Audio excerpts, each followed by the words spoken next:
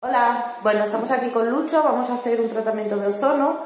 Em, bueno, el ozono, el O3, tiene un montón de beneficios para los perrinos. Para los perros mayores eh, les alivia mucho las articulaciones, es antiinflamatorio y, les viene muy bien para, la movilidad, ¿no?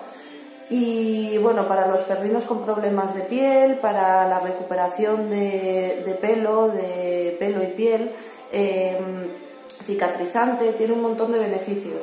Entonces, bueno, vamos a ver el procedimiento ahora con Lucho y, bueno, pues nada, os lo voy a ir enseñando.